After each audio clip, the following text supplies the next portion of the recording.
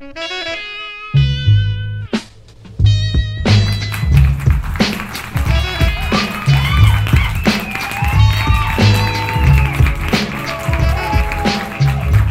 lecture.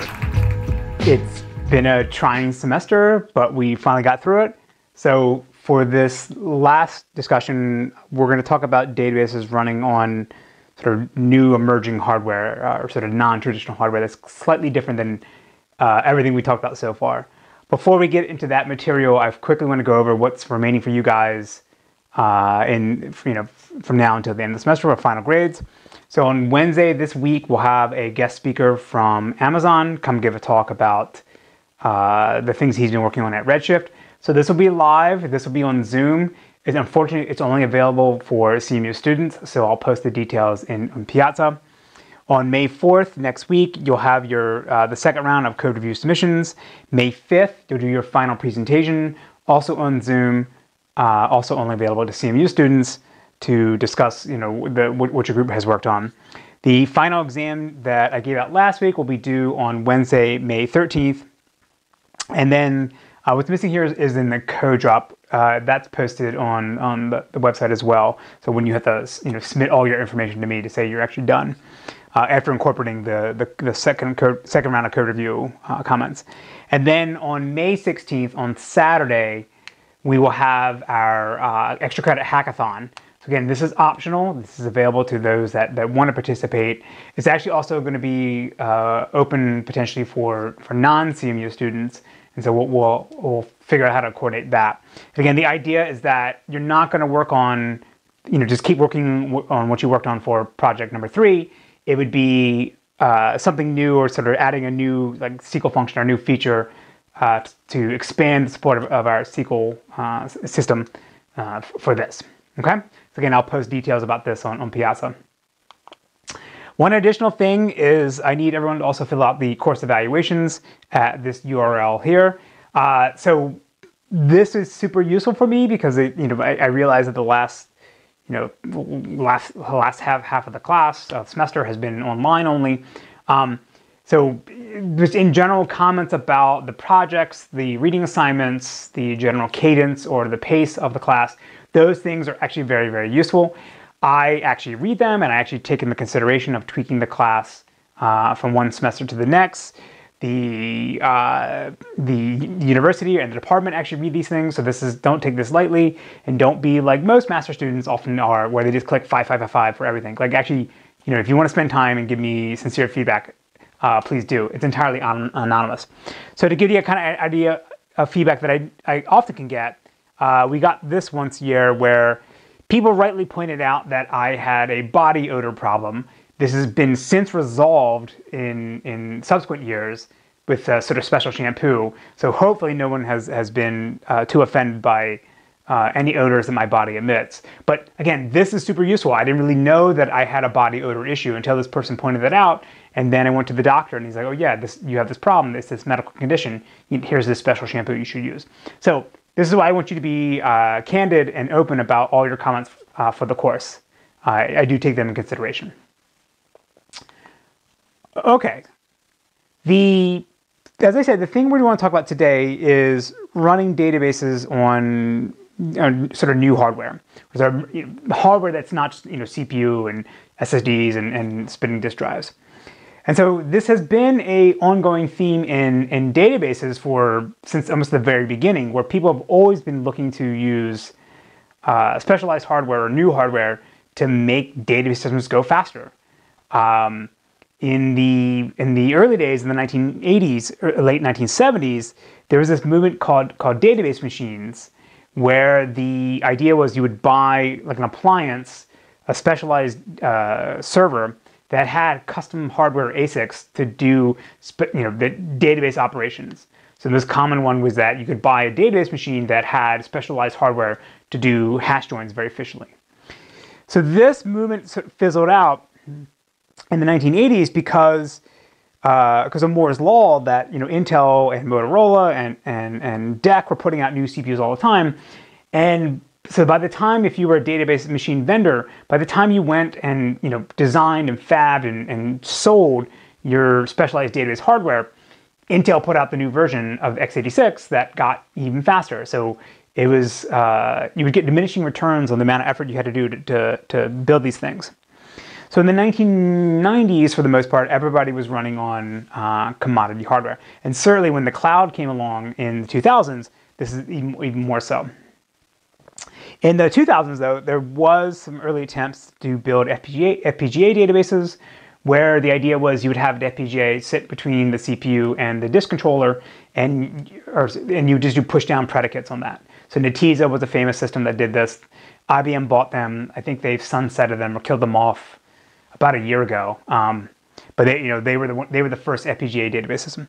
And again, there was now also a bunch of appliance databases where, unlike a database machine where it had specialized hardware just for the database system, the idea of an appliance was it was commodity hardware, but the system and the, op- the operating system, the database system were tuned explicitly for the for the hardware that it was running on. So you could just buy this one rack unit that had MySQL running on it, but MySQL was already tuned for that exact hardware. So it was sort of achieving the, the best performance.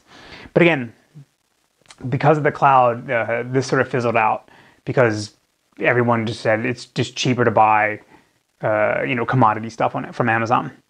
In 2010s, uh, there was a there's been a the FPGAs have sort of always been there. I think in recent years they've they've becoming more prevalent.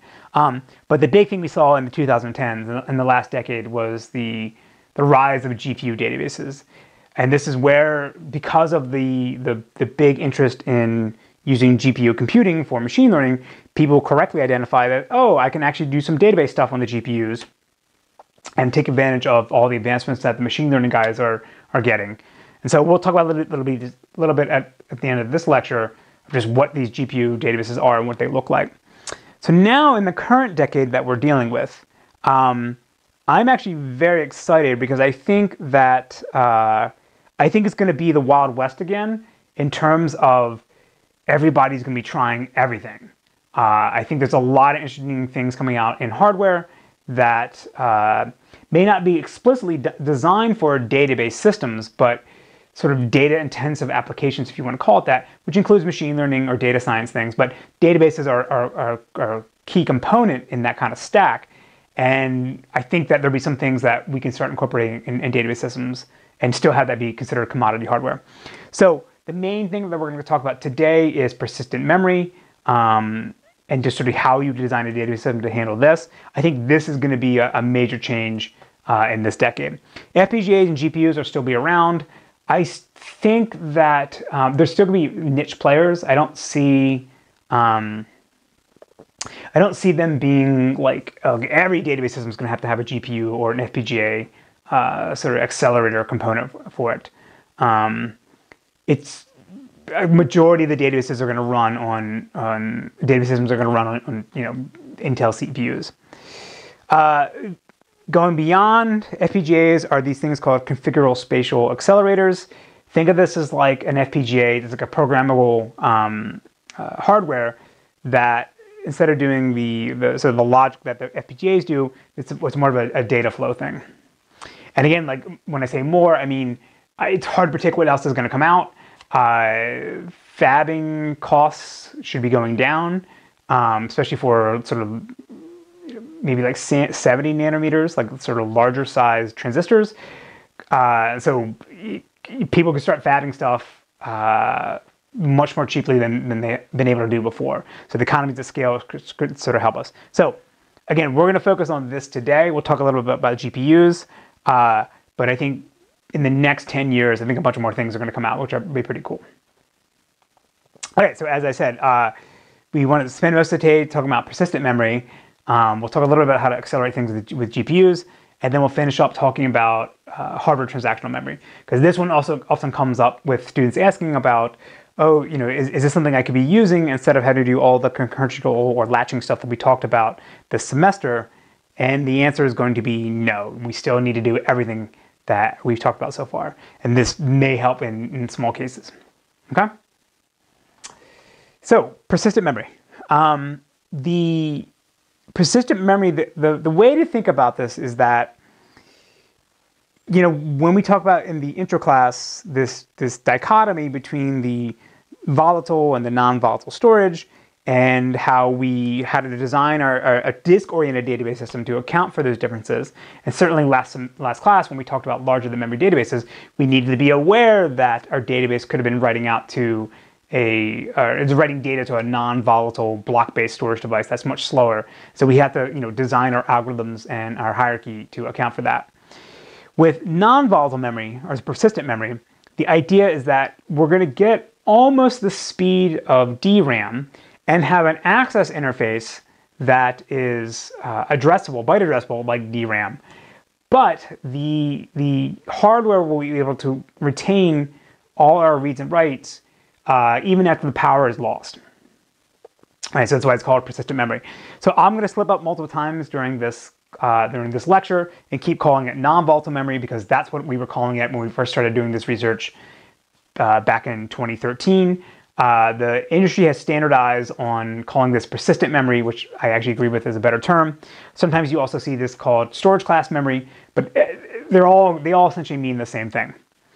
So the first persistent memory devices that were available, which is sort of confusing uh, because they were like PCI Express cards that were block addressable, even though the storage medium inside of it was the same thing that's going to be in the persistent memory we're going to talk about here. It just provided it through a uh, you know PCI interface. But the new ones that are actually available now from Intel are going to be byte addressable. So it's going to look and smell exactly like DRAM to your application uh, but there's some extra stuff going underneath the covers to make sure that everything is persistent. I have to let the terrier in.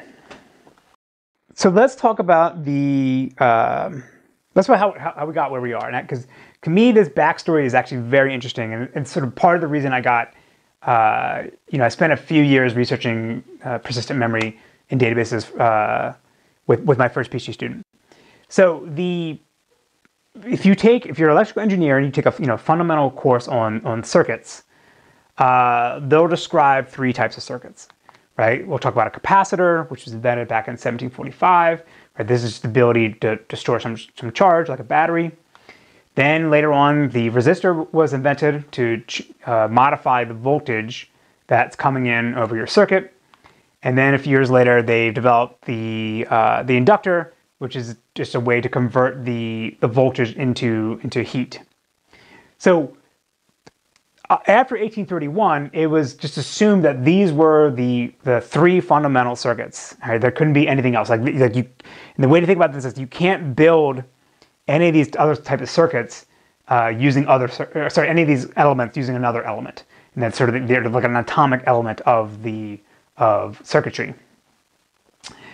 So then in 1971, there was a professor, Leon Chua, at, at Berkeley, who was working through some equations uh, and he, he did, uh, discovered that there seems to be that there should be a, a, fourth type of element because the way the math worked out is, was that there was like this missing component of the equations that you had to have this other fourth element in order for the math to actually work out correctly right? So he uh, hypothesized that there was a two-terminal device where the resistance of that device depends on the voltage that's applied to it.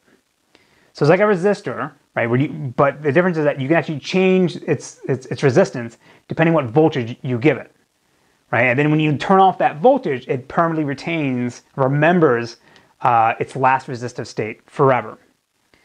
And so what he hypothesized was that there was this fourth element called the memristor. So he wrote a paper about this in 1971. Uh, it was sort of lost to time because it didn't have a lot of citations. It was very mathematical. Nobody understood it. Um, and it was essentially forgotten.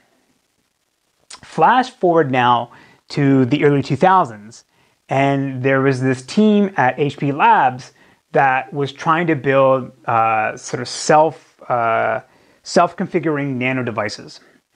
And what they were finding in their experiments is that these nano devices would have uh, certain properties that they did, they couldn't understand why they were why they were doing certain things. And in particular, it would be like when you give them a, a voltage, they would change the the the they would change the resistance you were seeing in, in the in, in the in the circuit they were trying to build. And so they looked and they couldn't figure out what it was, and they, they kept looking in the literature, and then they just happened to stumble upon the, the 1971 paper from Chua that says that, oh, you know, there's this other fourth type of circuit that you need, that, that actually could exist. We just don't know how to build it yet. And then they determined that it was actually that they that that HP Labs actually ended up accidentally building a, a memristor which is super interesting. And part of the reason why they figured out that what they had built was the same thing as what what Chua uh, hypothesized is that there's this graph of like the circuit that shows this sort of hysteresis loop. Um, and what they were measuring exactly matched what he proposed or, or, or in his conjecture that this is what it should look like. So then they went back and for this uh, for this paper they wrote, how we found the missing memristor, they went back and looked at the last like 100 years of electrical engineering scientific publications.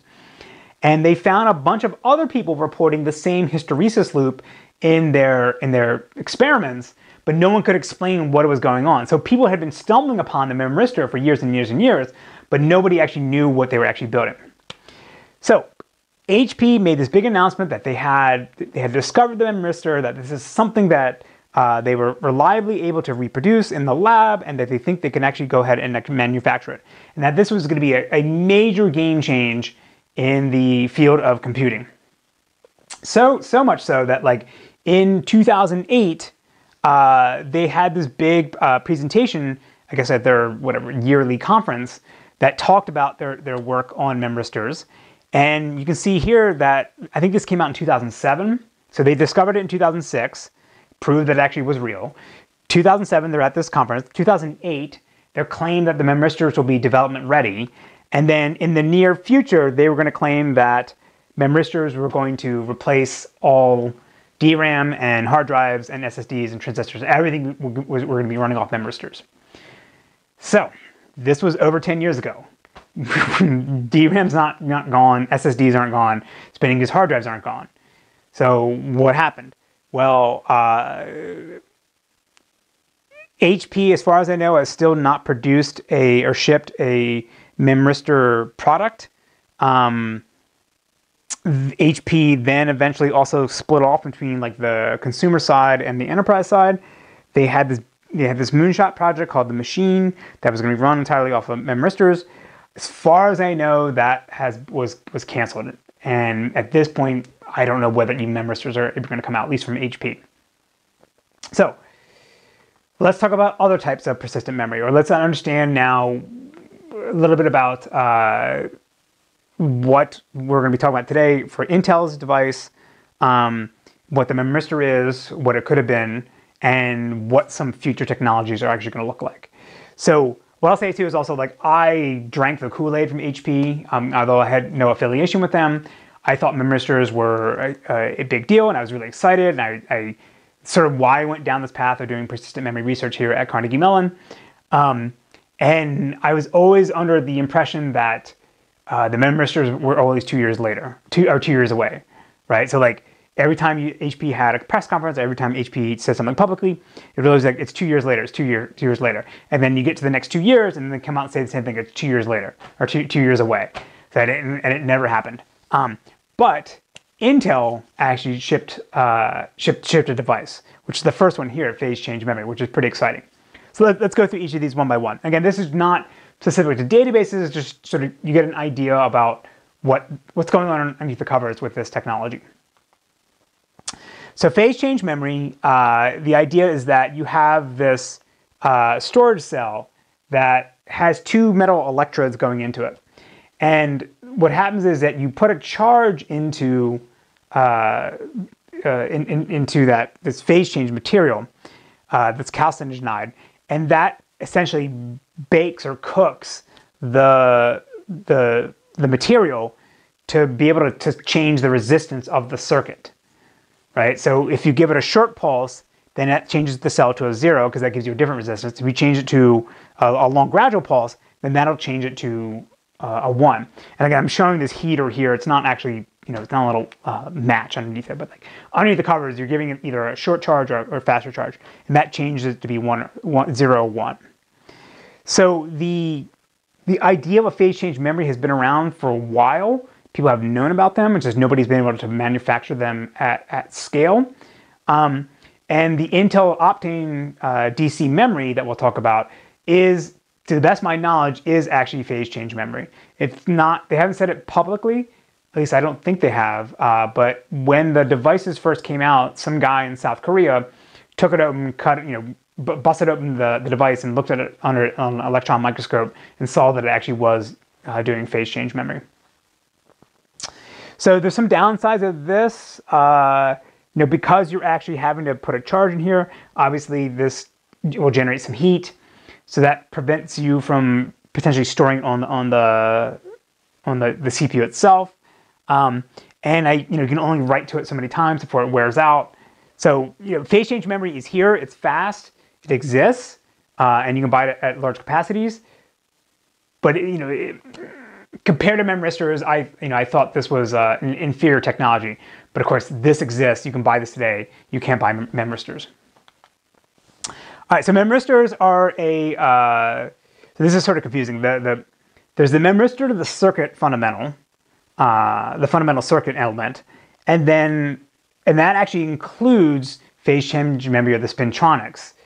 But then there's like the HP marketing where they would call whatever they were selling the memristor, uh, but the sort of the the sort of scientific definition of what they had built was called resistive RAM.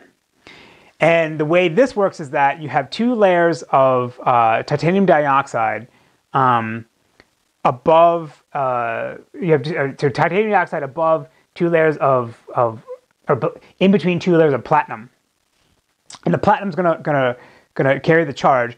And what'll happen is uh, if you uh, if you run the charge in one direction, you'll change the resistive state. If you change the, run the charge in the other direction, you change you change the resistive state. So the idea is like the the there's floating uh, electrons in between these two two different layers, and that's how you set it to be a zero or a one.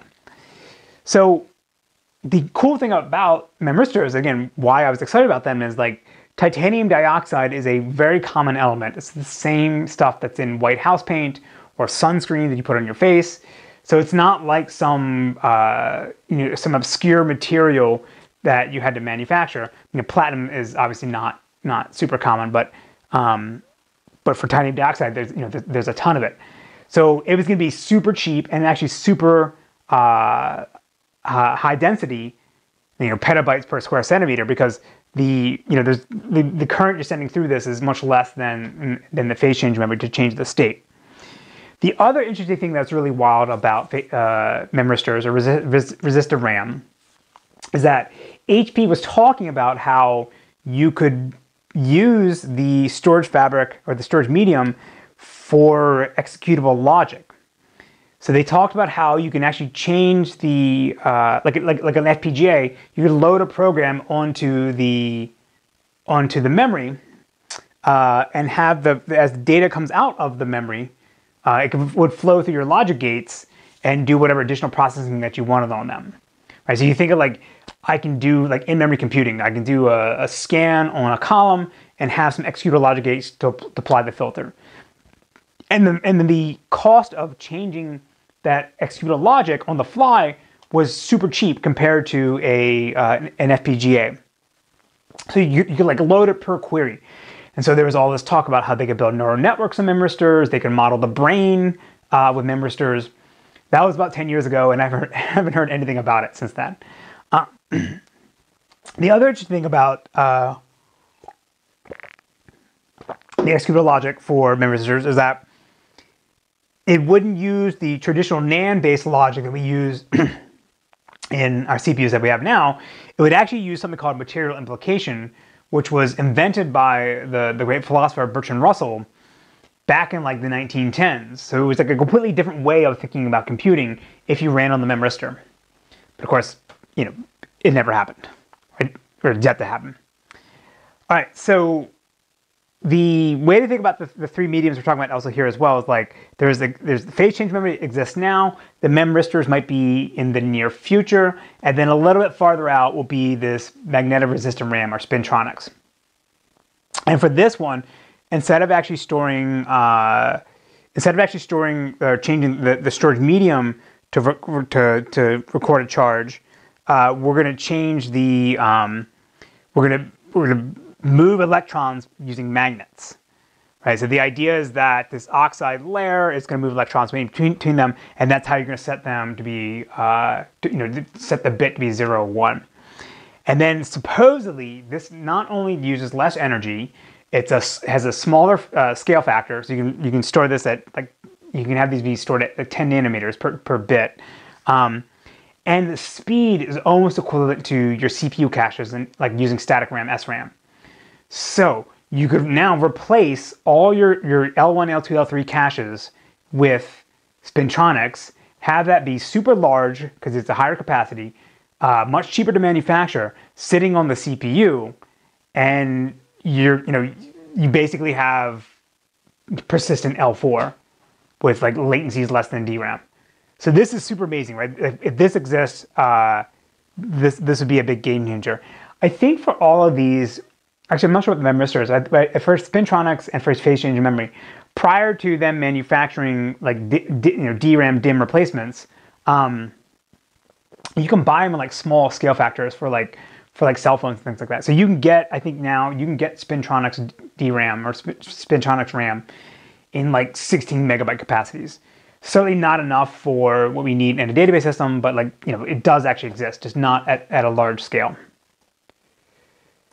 So why is this for real?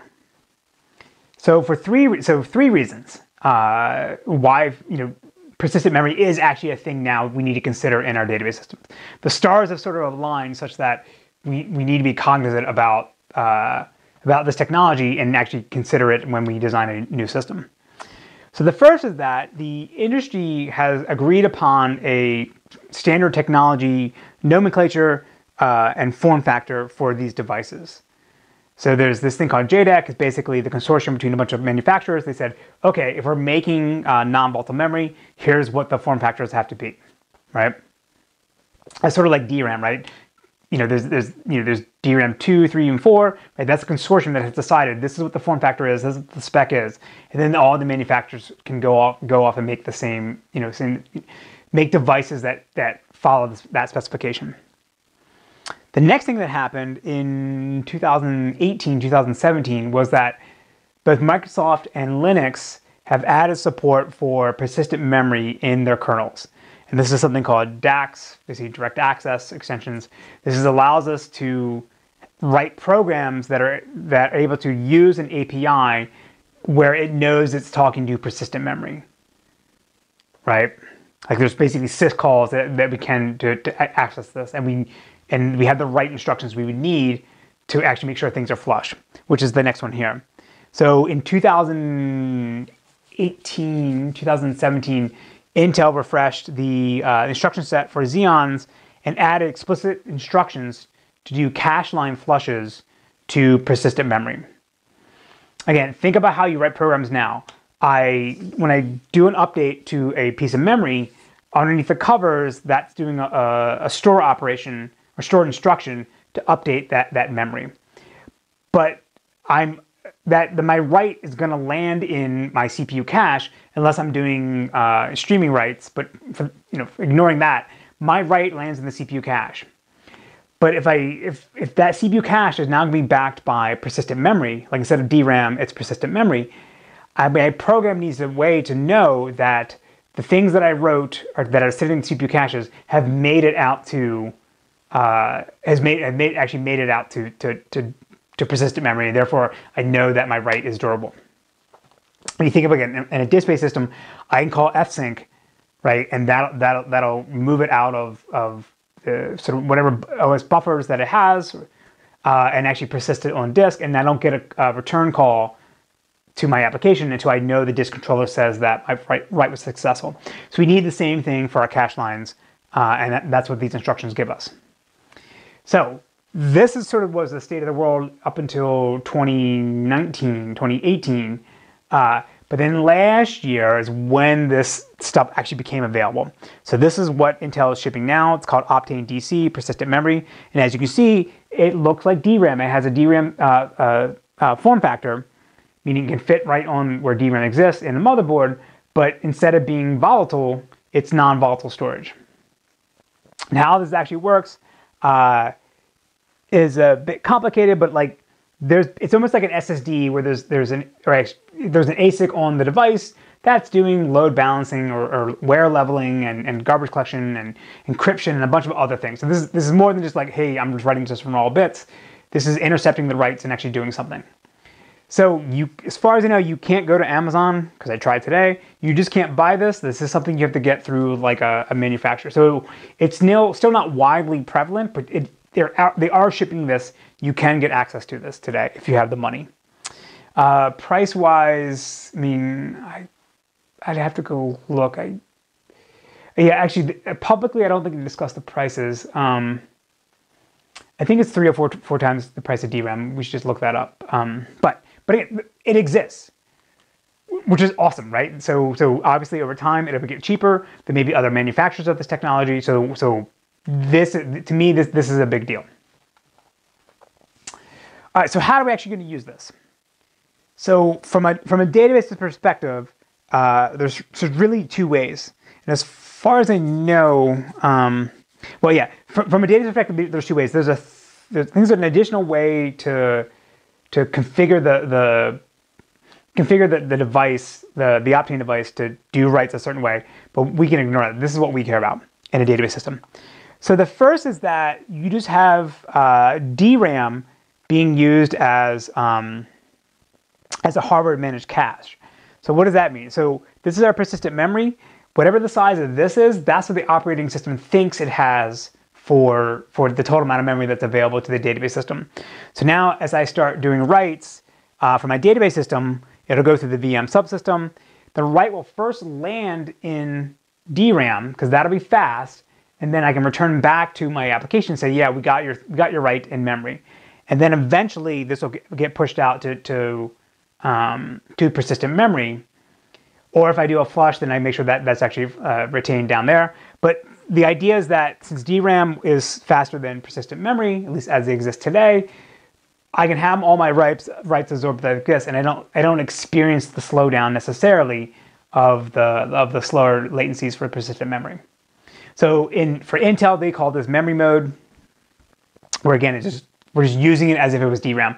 And there's actually nothing we're doing in here in our database system with this setup that is aware that we're writing to persistent memory and just thinks that it's just DRAM. It's, a larger, cheaper, potentially DRAM. And so that means that we still have to write a log, we still have to do a bunch, of, bunch, bunch of extra stuff to account for this. Because again, we think that we're just writing to uh, to DRAM. The other approach is that we would have the, the, the DRAM adjacent to persistent memory. And now our database system is aware that we're writing to persistent memory and that, that it has the durability properties we want. Um, and so to do this, again, if I have a write, I can, I can declare I want to write it to some region of memory in my address space that is backed by DRAM, or I can have a write go to some region of memory that's backed by persistent memory. And I know that if I do that, write the persistent memory, and I do my flushes, then my, my changes are durable. So Intel calls this application mode. Again, the idea here is that the application, meaning our database system, is aware where the boundaries are, or that we've allocated some memory into our address space that's, that's in persistent memory versus DRAM, and that we, we can do flushes as needed.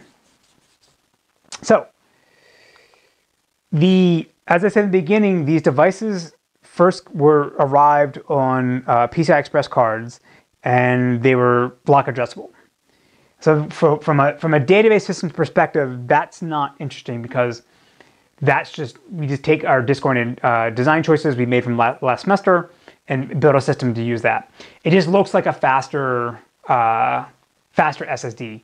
And actually, when we did benchmarking against some high-end Samsung devices, we really didn't see a major difference in performance for the PCI Express uh, version. Uh, you just you saw way more stable latencies though. Like there was less oscillation in, in, in performance. The one the, the the setup that we do care about is the the second one I showed in the last slide, the application mode, where I know I'm writing to DRAM and I know I'm writing to to persistent memory, and my data system can manage that, right? So because now we have to go and design our system to account for that. That now I can actually do byte addressable updates to some location in memory, some data structure, some table heap that will be guaranteed to be be durable. And then Intel's device handles the you know handles the case where even if I restart my application or restart my system, I come back and I can get access to my memory that, that I had before. It's not going to restart the program counters for you, so it's not like you can magically pull the plug and come back and everything's exactly the way it was before. We still have to do some potentially some recovery work because we're gonna, our process is going is gonna start up all over again. So this is a conjecture of mine. I still think it's true. Um, we'll see how it plays out in the marketplace in, in the next couple years. But I believe that when persistent memory com- becomes more widely available, and that basically means like Amazon will give you access to it uh, on, e- on EC2, the, the in-memory database systems that we've been talking about this semester, they will be in a better position to accommodate the byte addressable persistent memory um, because they've already written an entire architecture to assume they can do random access very quickly to, to, to storage. The disk-oriented data systems will, will, will probably end up starting with the second approach I showed before, where you just have the DRAM sit in front and persistent memory is a cheaper, uh, more efficient memory pool or larger capacity, you know, memory address space. So you don't have to rewrite any of your application. You just you're just using more DRAM. But then if you start want to be taking want to take advantage of persistent properties of DRAM, or of, of persistent memory, then you have to go and re-architect your system to potentially use a, a byte addressable API. Essentially, all the things that we talked about this entire semester. All right, so I want to first talk about uh, some storage and recovery methods for persistent memory. Um, and this is sort of just get you to think about what can, what can change if you design your system to account for, to be aware that you're writing to uh, uh, byte addressable persistent memory. So this is the paper that my PhD student Joy Arulraj and I wrote a few years ago um, on can, can think, looking at all the different so basic designs you have of a database system storage architecture and what can change with, with persistent memory. So the back in 2015, we actually did not have the device. The only what we were using at the time was a hardware emulator that Intel provided us in, in Hillsboro, Oregon, where they've modified the the the the, the motherboard for, for these devices for the, for the for the system to introduce some additional microcode in like debug hooks for the Xeon so that anytime I did a load in the store, it was basically this, this sophisticated busy loop that would figure out the timings for how to slow down the, the those load and store operations to mimic behavior of of uh, persistent memory when it actually uh, when it finally came along. So this work was all done in a prototype data system we were building called N-Store. This is the first one of the first data systems we were building at, at Carnegie Mellon when I started. Uh, this is actually what the Peloton project came out of. So we started building N-Store for this paper. The project kind of got, uh, got bigger and bigger. We renamed it to Peloton, and then we eventually killed off Peloton, and that became the, the Terrier database system that you, that you, guys are working on today. We threw away all the Peloton code and started over. So this is, you know, from, from N-Store to Peloton to Terrier. That's how we ended up with this. But there's nothing in our current system that uses any of the, the code we use we generated for, for N-Store because a lot of it was specific to the Intel uh, emulator device. And it was also before Intel put up put out a bunch of libraries to do memory allocation and other things you would need to, to, to write persistent memory programs. Nowadays, all that stuff exists like with um, uh, the PMDK from Intel. Like they provide you with all the, the important constructs that we had to roll around back, back, back then. All right, so let's understand how we're going to do synchronization uh, with uh, persistent memory. So again, the way we write programs now, when you you allocate malloc a bunch of memory, you do a bunch of writes to it, you assume that it's volatile, uh, and you also assume that it's going to land in your CPU caches. If the program crashes, you lose everything. But now, since we since we want to be able to write data uh, durably and have it backed by persistent memory, we need to know how that actually works at a high level. So again, say our pipeline looks like this. This is our process that's running on the CPU. They do a store operation to update some location of memory. But that store operation is always going to land again in our CPU cache, right? Because that, that, that's the fastest uh, storage medium that's available to the CPU. But then now, if I want to make sure that um, my data, my change makes it out, out to, uh, to persistent memory, I could just wait uh, and hope that eventually it makes it out. Because again, when my, what will happen is if my cache gets full, the, the, the CPU will then write it back, write the change you actually made out, out to memory, right? And then, then fetch in the next piece that it actually needs into the CPU cache to make space. But I to, I, but I, can't, I need to know exactly when that occurs. Right? There's no callback method for this when it happens, right? That would be too slow. So I want to tell the I want to tell the CPU, hey, write this out for me. So we can use a cache line write back uh, instruction that then pushes the, the change to a memory controller. And this is sitting on the motherboard that has a small capacitor to keep it, essentially it's battery backed. Uh, so the capacitor is sized such that if I lose power, there's enough energy in here to make sure that everything actually makes it out to, uh, to my persistent memory. And then at this point, I'll return control back to the program because my write made it out to the memory controller and it's responsible for making sure it makes it from the other side. And then this thing does what's called an asynchronous data refresh. It's a special uh, instruction inside, inside it for Intel that will persist the changes to the to, to, the, to the non-volatile memory or the, the PM device. So from our database systems perspective, we just need to be aware of what cache lines, or sorry, what memory locations we modify that we then want to make durable, and we use a cache line flush or cache line write back instruction to make sure that happens. The next thing we have to deal with is if our database system restarts and we come back online, we have a bunch of pointers now to uh, tuples or other in-memory data structures that we have but how do we actually make sure that those pointers are, are still valid the second time we come around? Because I can't guarantee that when I start allocating memory, that uh, the, the first time that I'm, when I allocate it the second time my, my program starts, I'm going to get the same virtual memory addresses that, that I had before. Right, so the issue is this. I have an index. It has a bunch of pointers to some tuples. Uh, and then let's say if I'm doing append only uh, uh, I'm doing multi-version concurrent control, so I have multiple versions of the tuple, and this in my in my version chain, I have a pointer to another tuple here. But now, this my system crashes, this gets blown away, right? And my index gets blown away. All the pointers are now invalid. What I want to be able to do is come back online and have all my pointers still be valid. So that so if I'm using you know virtual memory addresses, there's no guarantee to do that. So what you essentially need is, is a, a memory allocator that is aware of, uh, of these two issues, that you need to be able to synchronize your data out the disk, or sorry, out the persistent memory when you call the right instructions. And then uh, when I come back the second time, that all my addresses uh, still point to the, the, the, correct, correct memory, correct, correct locations in virtual memory. So the first one, again, you're just doing the, the cache line flush, but then you have an, an S fence to, to wait until essentially a barrier in the instruction pipeline to make sure that those changes get flushed before you start executing the next instructions. It's, it's sort of the same thing as fsync going to the, the OS and not returning until the, the disk controller confirms the, the flush. For naming, the idea is that the memory allocator can, you can declare specialized pointers that come through the memory allocator that are backed by persistent memory and that you know that anytime you have a pointer to that memory location, for your application when you come back around the second time you, when you restart the program, those pointers will still be valid for your application.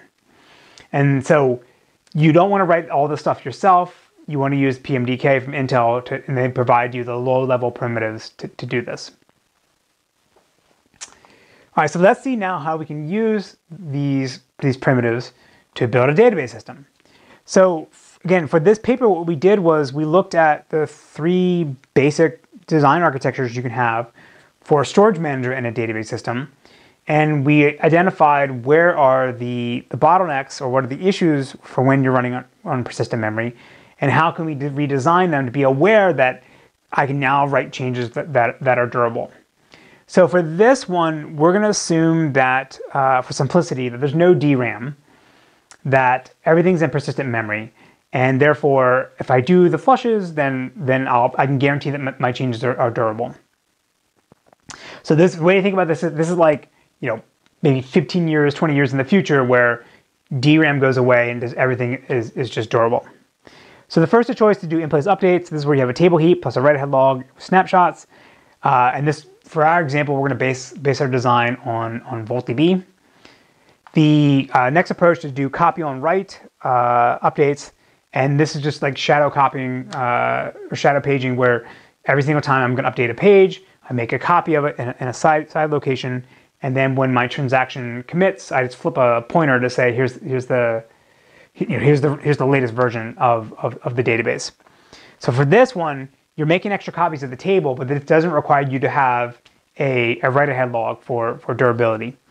And so our design here would be representative of something like LMDB, which uses this approach. The last one is a log structured system where you don't have a table heap, the log is the database. Uh, and we just keep appending to the log to do fast writes. So this would be something like LevelDB or, or, or RocksDB. So we're going to go through each of these designs one by one. And again, the idea is that Take the textbook implementation of these architectures, run it on persistent memory, identify where the bottlenecks are or where the uh, where, where, the redundant updates are, are, and then redesign the architecture to, to account for persistent memory. So again, for the first one, we have an in-place engine, the way we do writes is that we follow an index that lands to this tuple here, and then we go ahead and update it. And to make sure when a transaction commits that everything's durable, we're going to write out a delta record uh, of the change that was made to, to, to, to the write-ahead log, and then uh, apply our change here. And then some, some later point, we, uh, when we take a snapshot, then we make sure that our change, uh, our change gets persisted there. So for this one, we're going to update the tuple uh, sort of logically once. It's like one update query we're applying for this one tuple, but we end up writing it out three times because we have to write out the, the tuple delta, we have to write out the actual tuple in the heap, and then we'll write it out to any additional snapshots that we take. So again, all this is running in persistent memory, uh, so everything here is considered durable. And so we have a bunch of duplicate data here because again, for the same update, we write it three times. This is also going to have uh, slow latency now because I have to do traditional ARIES in my in my my database system where I load the last successful snapshot or checkpoint, and then replay the log uh, with with the you know analyze, redo, and undo phases. But again, everything is persistent. Everything is already durable anyway, so I may not necessarily need, need to do all of that.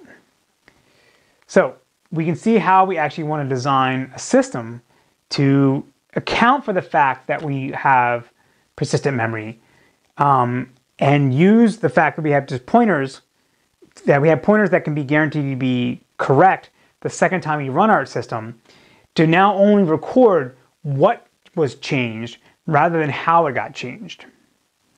So to do this, we're gonna, we still have to maintain a transient undo log in case our transaction aborts while, while the system is online and we have to roll things back. And we just make sure that uh, any changes we make from a, uh, we have to account for this because there's any change that we can't we can't guarantee that the, the, the CPU will flush out any dirty changes to tuples that are sitting in the CPU cache out to, to memory because that's something beyond the control. We can't tell the, the CPU not to do that. It, it does it on its own. So we need to account for that.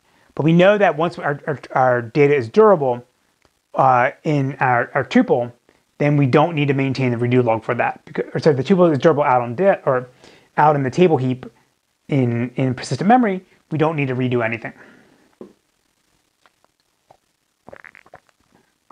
So let's, let's look, at look at it like this. So our we follow the index, everything's in persistent memory. We get to this tuple here.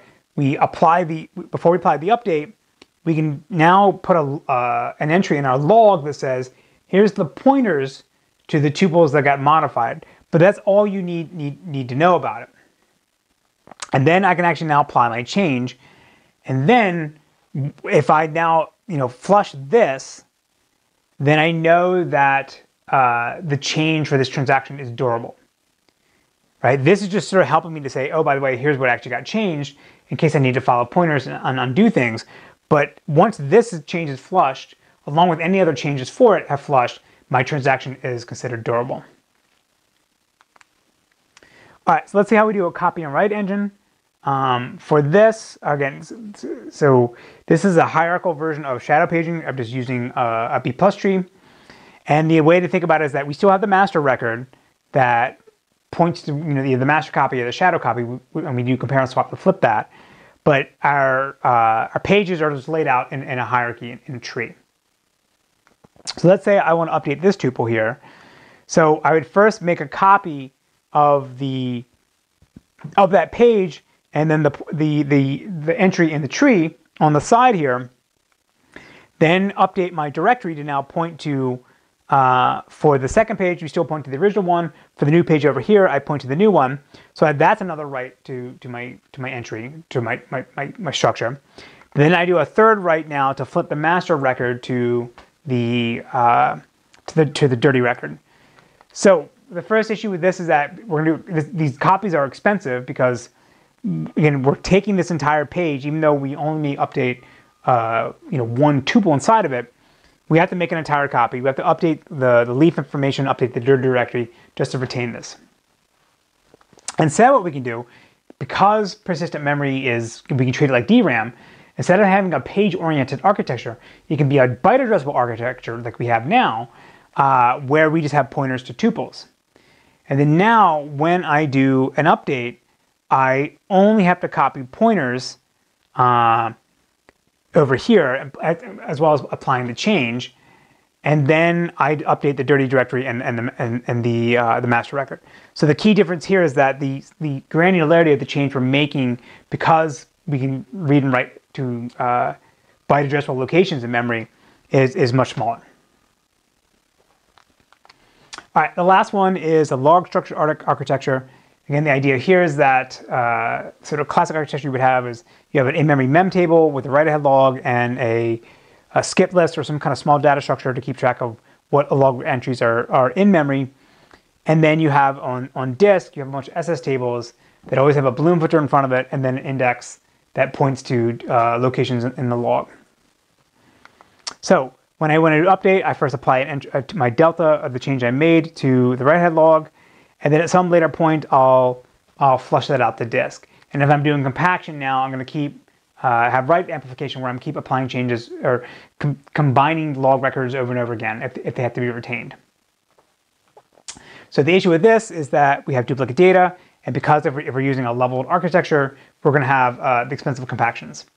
So if you want to switch this to persistent memory, then we can get rid of the, uh, the, the SS table entirely because now all of this is persistent. And therefore we can just have the write-ahead log uh, and our data structure for that, and we don't need to do any, any of this. We still have to do compactions though. Uh, that I think that doesn't go away, but uh, we don't have to have this, you know, uh, this concept of a mem table and an SS table, which are different, different sort of layouts of, of the data. In all the examples we just looked at, uh, as I said, those were assuming that the computer we were running on only had persistent memory and there was no DRAM. But like that's not really going to be realistic for a while. So let's think about how we actually would design a system today using what uh, is available uh, from Intel now. So let's target a way to speed up performance uh, and take advantage of persistent memory by focusing on the on how to sort of take a standard table heap plus write ahead log implementation and speed that up. So, what is the write ahead log doing for us? Well, in a either for a in-memory system or a disk-oriented system, the idea is that we're trying to avoid random writes to disk by replacing them with sequential log writes. For an in-memory database, we only do uh, sequential log writes because we're writing to the table heap in memory. For a disk-oriented system, we do our writes sequentially to, to the log, and then eventually in the background, we'll flush out dirty pages. So that's one advantage we'll get. The other one is that we'll also get um, uh, transaction capabilities because now if there are changes that are hanging out in on disk from a transaction that hasn't that did not commit before uh, there was a crash before the system shut down, we can use the, the log as a way to roll them back and reverse any of their changes.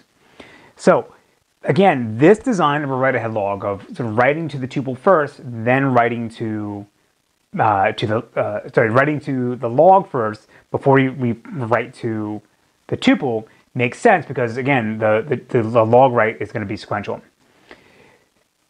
In a persistent memory world, though, we're going to have fast random writes. Right? We, byte addressable implies that we can jump to any location in the persistent memory space, and that will have the access speed that's um, almost equivalent to uh, doing sequential access. So the huge dichotomy or the the difference in performance we had in a sequential write versus a random write in a spinning disk hard drive or even SSD is going to be much less in a in a persistent memory system. So we want to design now a logging protocol potentially that can take advantage of this. And the way we're going to do this is that uh, the way the way we're going to do this is maintain a multi-version database and do copy on writes uh, or make sure we don't overwrite existing versions. And then we'll have in our log just the metadata about what was committed rather than the actual copies of the changes that were made. So this is the technique uh, that my PhD student developed here at Carnegie Mellon called write Behind Logging. And the idea here is that it's a logging protocol that's designed specifically for persistent memory, but in a world that still has DRAM uh, for, for the table.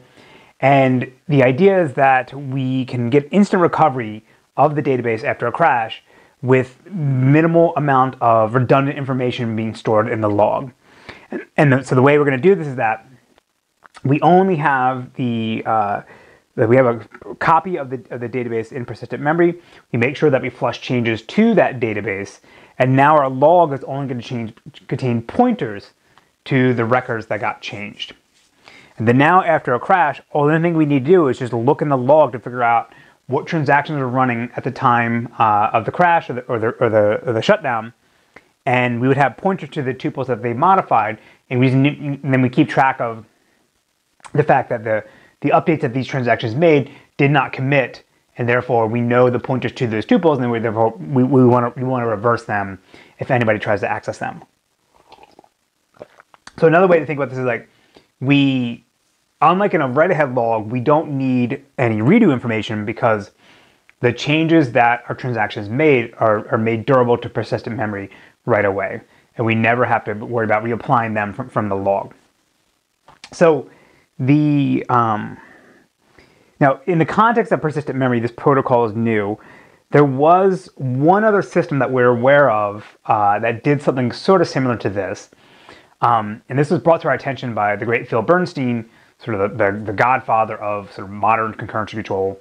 Um, and he told us of a database for a, I think it was a, it was a Puerto Rican uh, telephone company back in the 1970s so at the time, Puerto Rico had bad power infrastructure and they would lose power several times during the day. So they had to have a database that could run that could come back instantaneously anytime there was a, there was a power loss because if you're shutting having these abrupt shutdowns multiple times during the day and if your if your recovery time is super long then uh, you know, would, by the time it took you to go recover the database, the power might, might get shut off again, and you're you just you're never able to keep up. So they had a, a, database that sort of did something like this. Obviously, it wasn't with persistent modern persistent memory, um, but it was, it was, making copies of the database, paying the penalty of doing random uh, random writes to disk in exchange for uh, faster recovery times. But most modern systems don't don't make that choice. And in our case here, with write behind logging, we'll be able to get good, good performance at runtime, and good recovery time. So again, conceptually, our setup is like this. We have a table heap. Say we want to run this query that's going to update a tuple. So the table heap will, will, will hang out in memory, in DRAM, and then there'll be a second copy on persistent memory, and then we'll have our, our log on persistent memory as well. So now when we do an update, uh, we first update the, the, the tuple in table heap, then write the change to, sorry, in memory, then we write the change to, to NVM. But then we also now just write some metadata to the log to say, oh, by the way, here's the pointer to the tuple in persistent memory that changed. So that we know if we crash before a transaction commits, we can use this to figure out where do we need to go and make sure that those changes aren't persisted and when the system restarts. So how this is all going to work is that we're going to rely on multi-versioning and we're going to assign transactions timestamps just, as we normally would. And when we go to flush out changes for transactions, the we're going to figure out what is the range of transactions, uh, in-flight transactions that are running right now, and just record that in our write ahead log or a write behind log along with pointers to the to the tuples that they're modifying, and that tells us what what are the potential range of tuples, range of transactions that should not be persisted after a crash.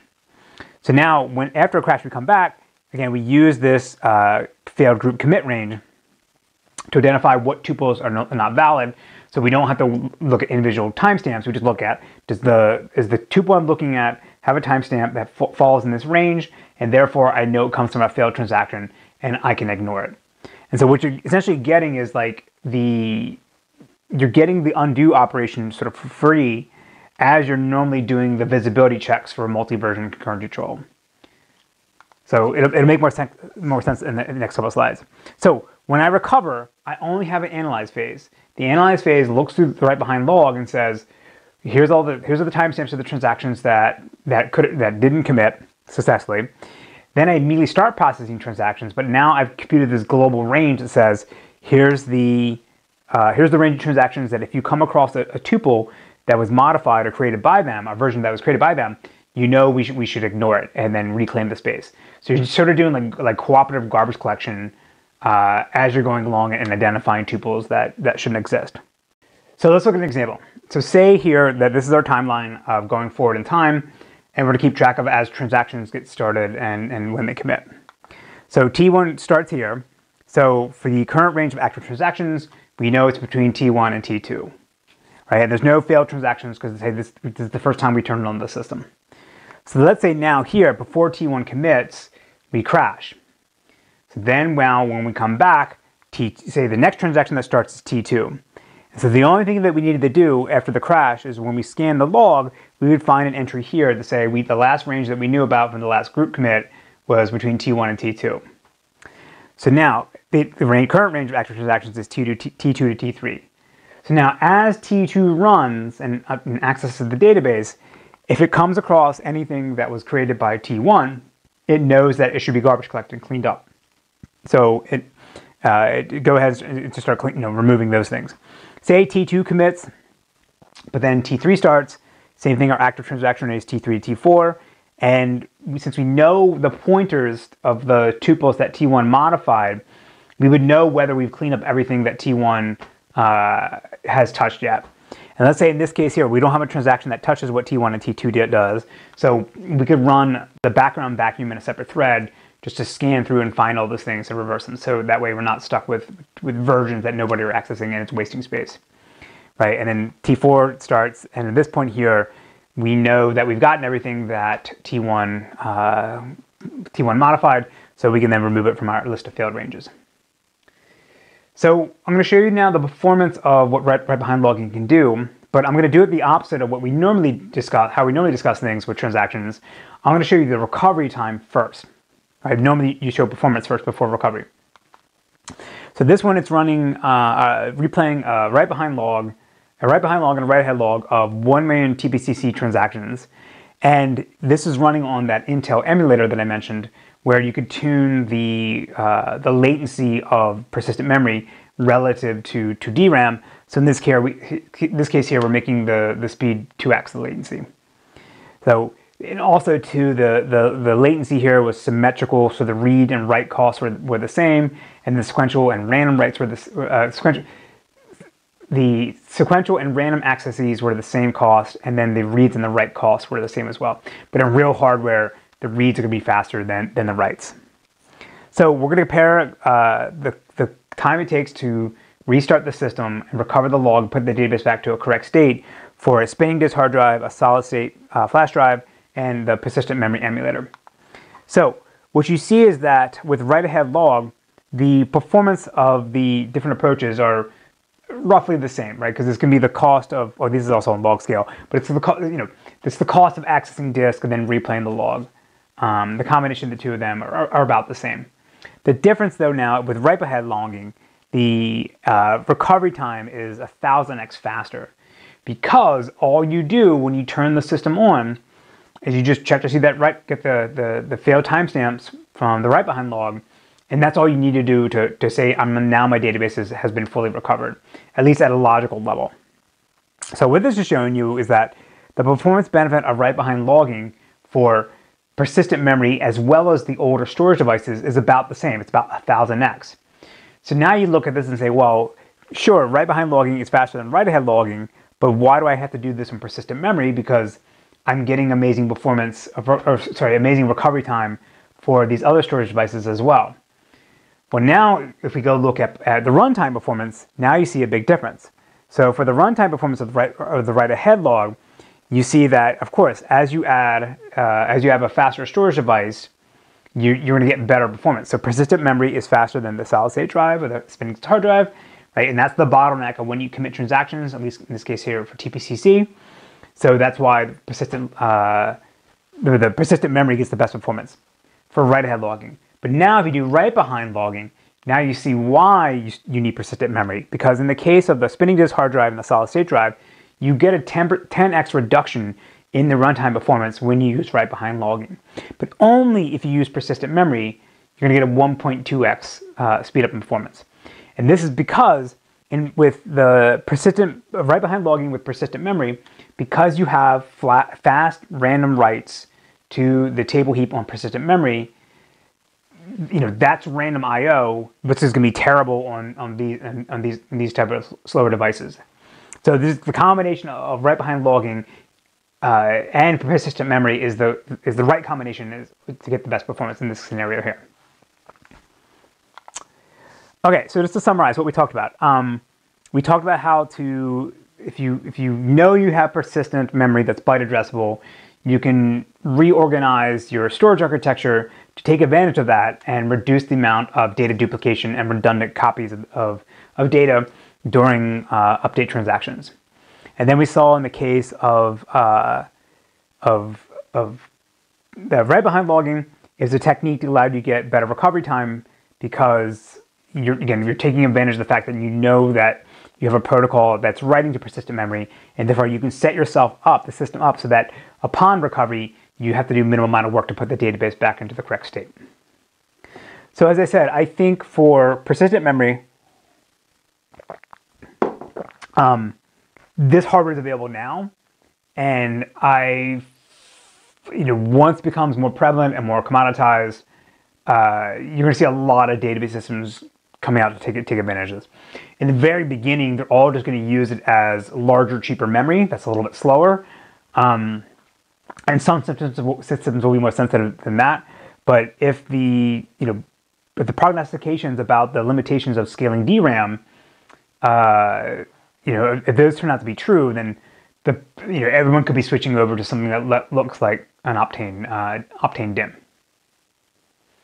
Okay, so now I want to finish up talking about uh, some, some, some computational uh, acceleration we can do in our databases. And explicitly, I want to talk about uh, GPUs.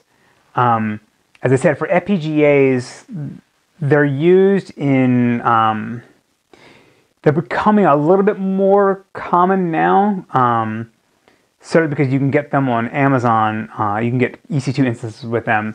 But it, as far as I know, there's more GPU databases uh, around today than there are FPGA databases. And I think partly is that because the overhead or the sort of engineering cost of writing FPGA code versus writing GPU code or just using a, a GPU library, like the stuff that NVIDIA provides, like that's much the, bar of entry to get advantage of new hardware or, or, or sort of non-traditional hardware in your database system is lower with GPUs than FPGAs. Okay, so if you want to use a GPU in our database, what do we need to know about? Well, we need to know about what, what GPUs are good for. Well, GPUs are going to contain uh, thousands of cores, and but the, the the the type of computation or the programs that those uh, cores can can execute are going have to be less sophisticated and less complex than what you would normally run on a full-fledged Xeon core. And this is because these cores are designed to do relatively simple operations, again, relative to what Xeon can support, on uh, that are repetitive on large amounts of data data streams, right? So you like you, you want to be able to say like the best case scenario would be like doing a sequential scan on a bunch of columns or, or a single column broken up into different chunks, and you can blast that out across all the cores, and all the cores are doing the same thing. And there's no um, there's no uh, indirection, there's no uh, conditional branches. It just says I'm going to from beginning to end, I'm going to apply the same filter over and over again. So again, this is basically what I was just saying, but like the kind of things we want to push down to the GPU are, are anything that don't require uh, additional input to make decisions about what to do next or require you to the, the, the, program to, to do branches like if clauses things like that. So what's really good for it? Sequential scans. What's really bad for it? B plus trees right? Because that's like looking at the the contents of, of a b plus tree node and making a decision where to go. Now there are uh, proposals in, in the research literature to build like b plus trees or other tree-based data structures that you can run on gpus uh, to the best of my knowledge, nobody's actually using them yet. Um, and again, this is not my area of research, so I, I, don't know what the limitations of them are. But for the most part, people aren't doing transactions on people aren't doing transactions on GPUs. They're primarily being used for uh, for OLAP workloads. The other important thing that we, we need to be mindful about is that although GPUs are going to have a lot of memory now, uh, it's not going to be cache coherent with the CPU. So that means that if you want to do, um, if, if, you, if, your, if your database is being updated and, and it exists up in DRAM or even in an SSD, you either need to copy the whole thing down to the GPU with all the updates or do like a merge operation to apply those changes incrementally. But it's not like if I have, um, you know, I have my database in DRAM and I do an update there, the GPU is not going to magically see that change. We have to explicitly send a message down to say, Here, here's the new data. So again, the idea is here is that we want to figure out what computation we can offload to, to the GPU, and it's going to be mostly sequential scans. There are uh, there are implementations for pretty much I think all uh, relational algebra operators we would want to execute in, in a in, in you know to run queries. Um, but sequential scans are the sweet spot. Like there's hash join implementations, there's sorting algorithms, obviously, uh, that again are designed to avoid these conditionals and branching. So the high level architecture would look like this. So say that this is, this is what we've been talking about the entire semester so far. That we have a CPU or a multi-socket system, and then we have our database hanging out in DRAM. And we can be aware of the NUMA regions to recognize what, you know, what, what DIMMs are closer, closest to a given core. And so over here now in, in the PCI Express bus is going to be our GPUs. And we can just sort of think of them as just another, uh, another socket that has way more cores that, that look a lot different, and they have their own their own DRAM as well, and they're not going to be in in sync. Right, so I think like for for GPUs in 2020, I think you can get ones maybe up to 100 gigs of DRAM, um, obviously on the high end ones. Whereas like on the CPU, we can get I think up to 48 terabytes of, of DRAM if we have a lot of money. So the other thing we need to be mindful to is the the bandwidth between uh, our compute and storage. So to go between uh, DRAM and, and, the, and the CPU core with DDR4, we can do about 40 gigabytes per second. Over the PCIX, PCIe bus, uh, the best I think we can do now is is 16 gigabytes per second. So it's you know it's not that far off. It's not like an order of magnitude, but it's still significantly slower than what we can do over here. So that means that we, the one of the challenges we're going to face is that if to run a query, we have to send a bunch of data down here and then be able to crunch it and get it back. That's going to be it may just be faster just to run it up up here uh, with the with the, the the CPU. We're not going to have as many cores, but this bandwidth is going to be our bottleneck for us. So now NVIDIA has this thing called NVLink that, that gives you 25 gigabytes per second in between um, in between two different GPUs. You, you could you know do message passing in between them. Um, you can also get NVLink to go from the, the, the DRAM memory up into the, the, the CPU's memory at 25 gigabytes per second. Uh, that, though, is this NVLink technology, as far as I know, is only available on PowerPC machines. I don't think it's on x86. So you have to run on IBM Power uh, in order to get, to get advantage of this. I think Intel has its own fabric, but I, I forget what it's called. Or AMD might have something as well. Okay, so how would we organize our system? So there's three different approaches we can take to how we want to use a GPU in our database system.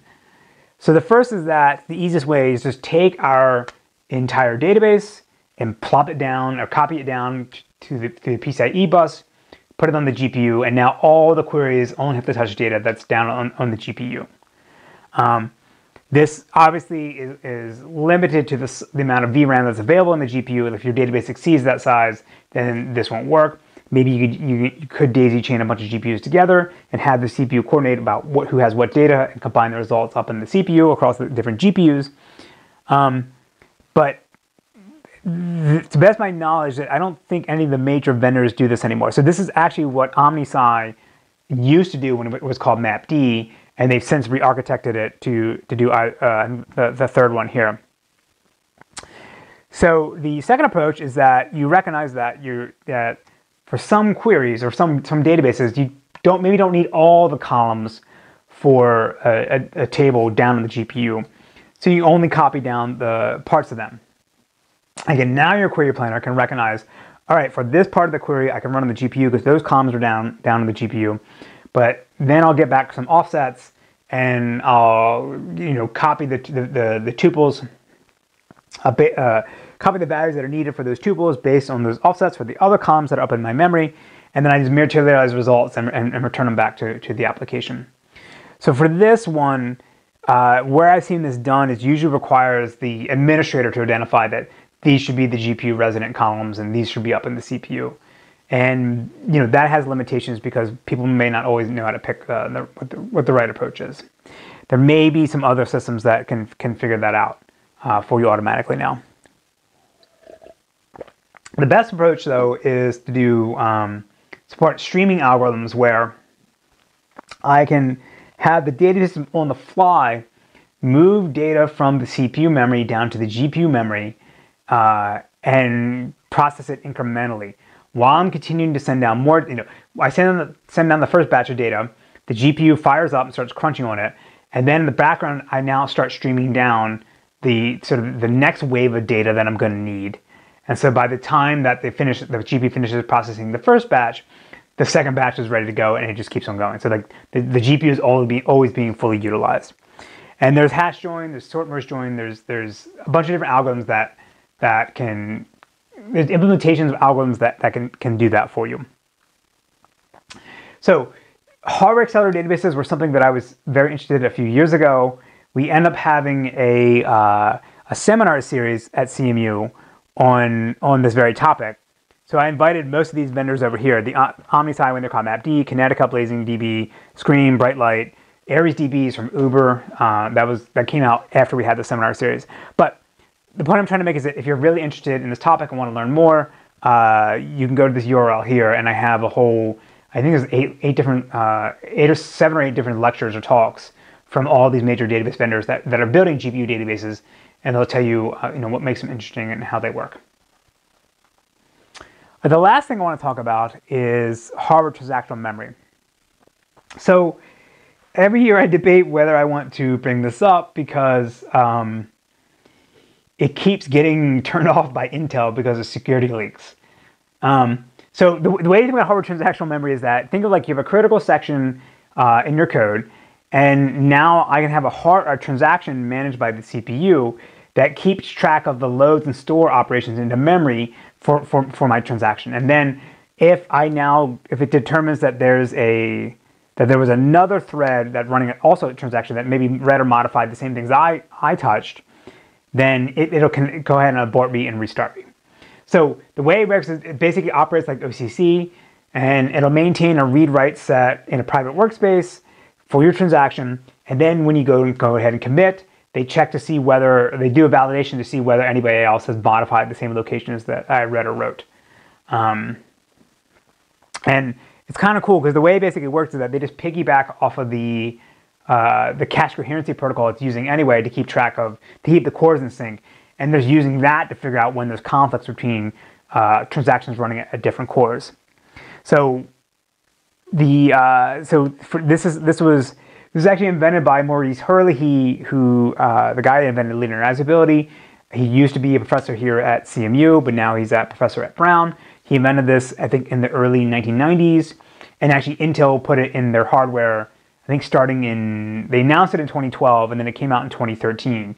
Um, but then they found a bug in it in 2014, so then they disabled it. And then I think in like 2017, they're like, all right, here's the new CPUs, the bug is fixed. Go ahead and re-enable it. And then in 2019, I think there's another, I think it's called Zombie Bomb or something like that. There's so there's another bug that can have security leaks when, when you use this. So this is what I'm saying. So like, I would be kind of want to teach this and show this and have you guys use this, but like, I it's unclear whether that you know this is actually like you could actually use it today safely on on you know modern modern uh, Intel CPUs. Um, I, I don't know if AMD has has similar issues. So everything I already said, like. Uh, the, the way it works is that you keep track of the read-write set. Oh, the read-write set has to fit in your L1 cache. So you can't use this for, uh, you wouldn't be able to use this for like, you know, to replace the transactional stuff that we talked about for concurrent control, right? Because a lot of times your transaction read-write set will be larger than L1. Um, and certainly if you have multiple threads running at the same time, you'd be thrashing L1 and, you know, you would have problems with this. So the reason why we might want to use this also too is like the um, this is not just for performance. Uh, this is also useful from a software engineering standpoint because now instead of doing all the latching, crabbing stuff that we talked about before, you could use this as an alternative uh, and maybe get the same performance of having software managed latches or software managed transactions uh, with lower engineering overhead. That's purely conjecture. I don't know whether that's actually true, but that's sort of been what the proponents of this of this technique have, have argued. So let's see how you would actually want to use this. So with hardware transactional memory, there's, there's two programming models that, that you can use. The first is called hardware lock elision. And the way this works is that I start my transaction, and anytime I, I do a write during my transaction, I don't actually do it. Uh, I just you know, sort of like do a Jedi mind trick. I, trick. I, sort of trick myself thinking that I, that I did do it. Um, and what'll happen is like, so, so if I write to a memory location, it's hanging out my private workspace. If other threads try to read, um, read that memory location, they won't see my write. And then when I go to do a com uh, commit, the, the hardware will check to see whether there's a conflict with other transactions or other threads. If there wasn't, then I can go ahead and apply my changes from the private workspace into sort of a global memory. If there was a conflict, then the, the hardware will roll back, roll me back to the starting point of my transaction, almost like a stored procedure. You roll back to its beginning and then re-execute it. But now when I execute it the second time, I'm actually going to take explicit locks to protect the memory regions that, that I'm writing to.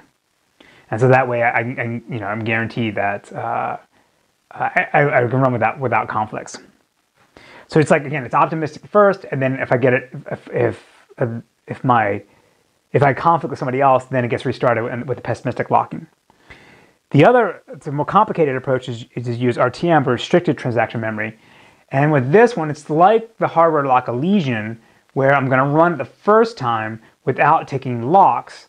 Um, but then if there's a conflict, Instead of going back and running the transaction again with the taking explicit locks, you, you provide it with a pointer to, to another location in the code to jump to that will do something different than just the regular code. So you still abort the transaction and you roll it back, but you don't jump back to the starting point of the transaction and run it again. You jump to some other memory location for the program that can do something slightly different.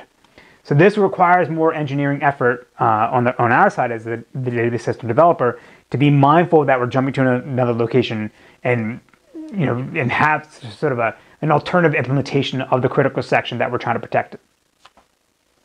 So let's look at an example of how we could use it. So say that we want to do, uh, we have a B plus tree and we want, you want to insert into key uh, 25. So if we're just doing the latch crabbing that we talked about before, the optimistic latch crabbing, I would take read latches till I get down to here, um, and then recognize that this is the thing I want to modify. So I take a write latch, or that's, that's X for exclusive, it should be a write. And then uh, when I have that, I can go ahead and apply my change. But now if I'm doing this with hardware transactional memory, my program would look like this. I would have the boundary from where my transaction starts and when I, when I commit. And for this critical section here, this is just the crabbing portion where I'm traversing down into the uh, traversing down into to the, the, tree till I get to this F node and I can take the exclusive latch on the on the or the write latch on F. So from the outside, it, it looks like that I magically made it through down here transactionally, and this would automatically detect whether somebody else took a, the latch at the same time I would. And so from the outside, it just looks like that I'm magically warped down here. I took the correct latches all the way, so I'm guaranteeing the the integrity of the data structure in terms of what, what the, the pointers the, the pointers are pointing to. Um, but I didn't have to I didn't have to have to um, you know actually apply these writes uh, to you know to, to in memory. All that got elided, and I could jump down here and get and do and get exactly what I want. Okay, so to finish up, um, the as I said, we spent most of the time talking today talking about persistent memory because uh, it is my opinion that is out now, and that when it becomes more widespread, that this is going to be a major change uh, in how we build software, and especially database systems. Like I could foresee that if persistent memory uh, takes off as much as I, I think it should or, and, and will, then it may be the case that we don't, you know, in the introduction database class, we don't spend time talking about things like buffer pools uh, and, you know, how to do write-ahead logging with, with sequential, I, you know, maximizing sequential I/O and things like that. Um, think, you know, now memory is just persistent, and I can write to it. I make sure I flush it. I have to order my writes a little bit, but like, I don't have to do all that page latching and all that crap we did in, in introduction class. So it's my conjecture also, as I said earlier, that I think the in-memory databases are in a better position to take advantage of persistent memory because they're already written to assume that they're they, they can talk to uh, byte addressable memory and and not deal with pages. So I think that the conversion from a DRAM or in-memory system to a persistent memory system will be lower for in-memory databases. I also think that uh, the you know, GPU has been around for a while. The FPGA has been around for a while, but you know, like I said, there's not most databases are not most database systems are not being written assuming you have that hardware. Um, it's still, in my opinion, uh, sort of a niche, uh, you know, a niche market. The what could happen though is that beyond GPUs and FPGAs, you may start seeing additional computational devices uh, like configurable spatial accelerators something that looks like a TPU uh, or you know some kind of custom ASIC that could make a big you know big difference in the performance of databases.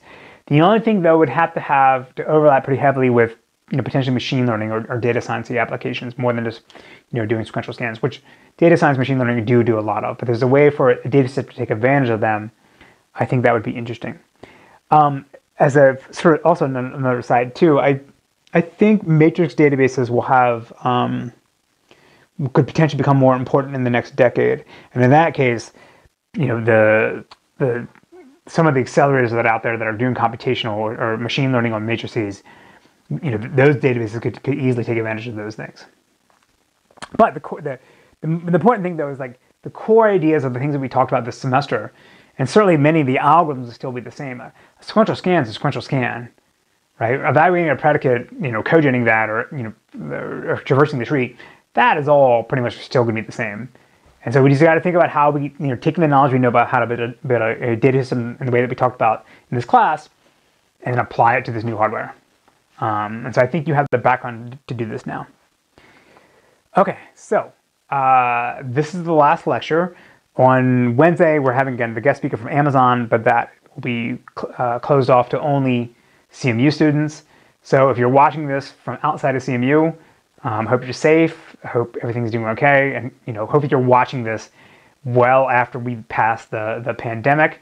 If you made it through the entire semester watching the YouTube videos, uh, then congrats. Um, so what, what what should you be able to do now? Well, after going through 25, 26 lectures, you should now be able to understand and comprehend and reason about the major topics that we talked about and on how to build a modern single node database management system. And I'm qualifying what I'm saying by single node because going distributed brings up a whole other uh, bunch of issues with networking and distributed transactions that we haven't talked about. But at a high level, there, there are many of the same issues that we talked about here. Where we care about placement, we care about partitioning, we care about join algorithms, we care about transactions, all in that environment. It's just the the communication is slower and more unreliable, so we have to we have to account for that. I also hope that you now have the reason to the ability, the foundation to now reason about the claims that people will make about their database management systems. And you'll be able to figure out whether those claims are, are real or whether they're actually you know, plausible or whether it's just a bunch of, of marketing hype.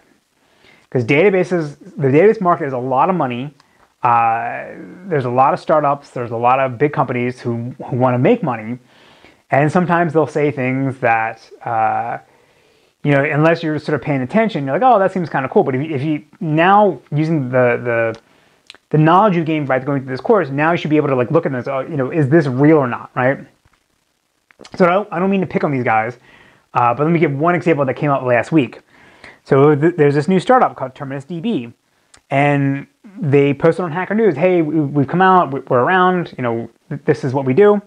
Um, so it's a graph database, and so they're comparing themselves against a bunch of other uh, uh, other sort of systems in, in, the same space. And they have this little blip here though that talks about their features that they do they do AI code generation. And rightfully so, you see this and like, well, what does that mean? And sure enough, somebody posted on Hacker News saying, "Hey, look, AI code generation. What the is that? What, what are you actually claiming?" And then these are some of their uh, some of the developers are like, "Oh yeah, this is this is incorrect. This is marketing gone wrong." So if you're just a casual person looking at this and go, AI code generation, wow, that sounds kind of cool. What could that be? But for you guys who have gone through this course, you know what code generation is. You know there's no AI aspect really to it because you're taking a query plan that the optimizer spits out that, you know, and it's only really going to have one way to execute it uh, in, in, terms of how you're going to generate the code for it. Um, and so there's nothing AI to this. So again, this is just sort of something I'm hoping you guys can now do on, on your own. See things that people are saying and use your background you've gotten from this course to decide whether, whether they're saying things that are plausible. Okay, so again, next class we'll have the guest speaker from Amazon. Um, and then for everyone else, uh, take care. Bank it in the side pocket. What is this? Some old bullshit. Hey, yo, hey, yo. What? Took a sip and had to spit cause I ain't with that beer called the OE. Cause I'm OG. Ice Cube down with the STI. You looked and it was gone. Grab me a 40 just to get my buzz on. Cause I needed just a little more kick. Hooked like a fish after just one sip. Yo. Put it to my lips and rip the top off. Eight ball just dropped off. Cause St. I's hopped off. And my hood won't be the same. After Ice Cube take a St. I to the brain.